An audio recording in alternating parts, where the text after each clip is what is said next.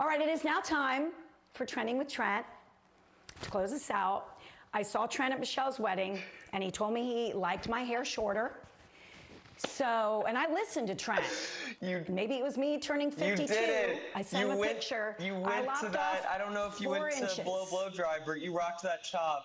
Oh, Christine, you I you rocking that it. Disney on Ice read perfectly encapsulates you. It's that boundless energy. It's that incredible enthusiasm.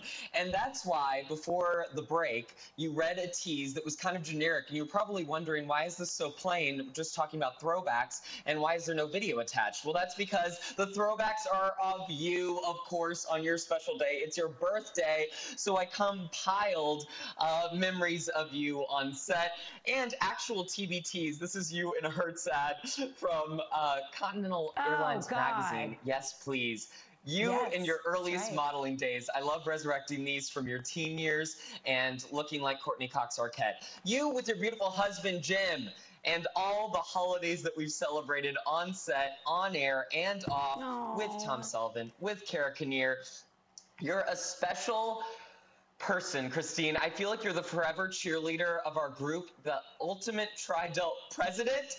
And the memory that comes to mind, not only the way that you interact with your family so beautifully as we saw this past weekend, but a Ninja Warrior moment with Matt Eisman. I remember what the viewers didn't see is I was off set, set snapping pics of you, and you were so real in your portrayal of this fall that I wanted to give you an Emmy on the spot. Let's take a look.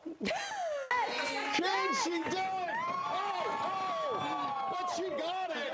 That counts as a completion. I'm okay, I'm okay. I think I'm okay. And the Neiman Marcus bag, most importantly, nothing broken inside the bag. Trent was so worried about me. That must have been really good acting. Oh. Here we go, the good thing sailing. Oh my God, I can't. I can't. And you know, measure of a great competitor, this cake looks delicious. No, no, wait, yes, I need you. No. This is the first time she's ever